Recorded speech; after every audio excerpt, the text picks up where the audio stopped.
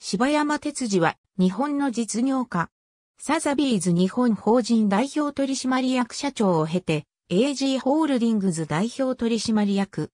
ロックフェラー家の資産管理を行った経験などから、企業の社会的責任コンサルティングや芸術家育成事業を行い、京都造形芸術大学客員教授、一般社団法人芸術支援、地方創造機構理事、ハーバードビジネススクール日本 OB 会理事等も務めた。東京都出身。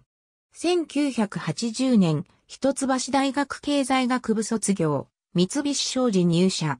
1988年退社し、ハーバード大学、ハーバードビジネススクールに留学。1990年度終了、経営学修士の学位を取得。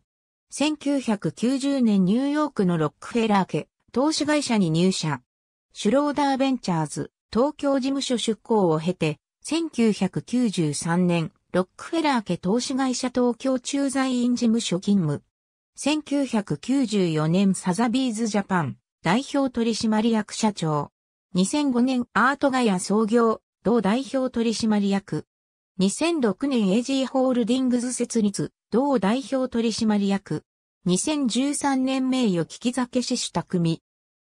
ロックフェラー家のフィランソロピー活動に影響を受け、企業の社会的責任コンサルティングや芸術家育成事業を行う。